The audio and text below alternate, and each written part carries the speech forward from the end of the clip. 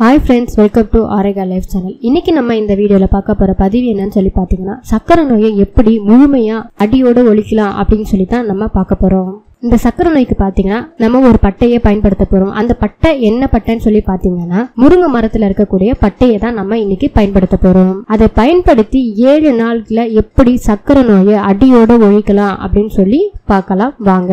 முருங்கை மரத்தில் இருக்கக்கூடிய நன்மைகள் நம்ம எல்லாருக்குமே தெரியும். முருங்கை கீரை காய் பிசினி முருங்கை வேர் இது எல்லாமே பாத்தீங்கன்னா மருத்துவ குணம் நிறைஞ்சதுதான். இப்ப இந்த முருங்கை பட்டையை வச்சு நம்ம என்ன பண்ணலாம் அப்படின்னு சொல்லி பார்க்கலாம். வாங்க. ஒரு சிறு துண்டு அளவுக்கு முருங்கை பட்டையை எடுத்துக்கோங்க. அந்த முருங்கை பட்டையில பாத்தீங்கன்னா ரொம்பவே மருத்துவ குணம் நிறைந்துள்ளது. கொஞ்சமா அந்த பட்டையை எடுத்துக்கிட்டு தேங்காய் எண்ணெயில காய்ச்சி எடுத்துட்டு தோல் நோய்க்கு சொறி சிறங்கு இது போன்ற எல்லாத்துக்குமே இந்த மாதிரி தோல் நோய்களுக்கும் நம்ம பயன்படுத்தி வரலாம். இந்த பட்டையை இடிச்சு கொஞ்சமா உப்பு கலந்து லைட்டா கடாயில போட்டு நல்லா சூடு ஏத்தி வீக்கங்கள் மேல வச்சு கட்டிட்டு வந்தீங்கன்னா அந்த வீக்கங்கள் குறைய ஆரம்பிக்கும்.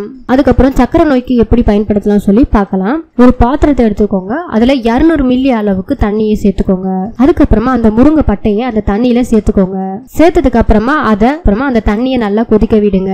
200 மில்லி அளவு தண்ணி நூறு மில்லி அளவு தண்ணியா ஒத்துற அளவுக்கு நீங்க அந்த தண்ணியை நல்லா கொதிக்க வைக்கணும். அதுக்கப்புறமா நல்லா கொதிச்சதுக்கு அப்புறமா அதை தனியா வடிகட்டி எடுத்துக்கோங்க. அதை எப்போ குடிக்கணும்னு சொல்லி பார்த்தீங்கன்னா காலையில் வெறும் வயிற்றுல நீங்கள் அதை குடிக்கணும். இந்த கஷாயத்தை பாத்தீங்கன்னா ஒரு நாளைக்கு ஒரு வேளை குடிச்சாலே போதும். ஆனா இந்த கஷாயத்தை காலையில வெறும் வயிற்றுல மட்டும்தான் நீங்க குடிச்சாகணும். இந்த கஷாயத்தை குடிச்சிட்டு ஏழு நாள்ல கண்டிப்பா உங்களுடைய சர்க்கரை நோயின் அளவு குறையும். சர்க்கரை நோயின் அளவு எவ்வளவு அதிகமாக இருந்தாலும் ஒரு கட்டுக்குள்ள அது கொண்டு வரும். சர்க்கரை நோயின் அளவு பாத்தீங்கன்னா நானூறு ஐநூறு ஆறுநூறு எவ்வளவு இருந்தாலும் இது ஒரு அளவுக்கு கட்டுக்குள் கொண்டு வரும். இந்த கஷாயம் பாத்தீங்கன்னா பாத வலி பாத எரிச்சல் சிறுநீரகம் சார்ந்த எல்லா பிரச்சனைகளையுமே இது சரி செய்யும். இப்போ சக்கரை நோயாளிகளுக்கு இந்த முருங்கைப்பட்டை முருங்கப்பட்ட கஷாயம் பாத்தீங்கன்னா ரொம்பவே யூஸ்ஃபுல்லாவே இருக்கும். இதை ட்ரை பண்ணி பார்த்துட்டு உங்களோட உங்களுடைய உங்களோட ரிசல்ட் என்னன்னு சொல்லி கீழே இருக்கிற கமெண்ட் பாக்ஸ்ல கமெண்ட் பண்ணுங்க.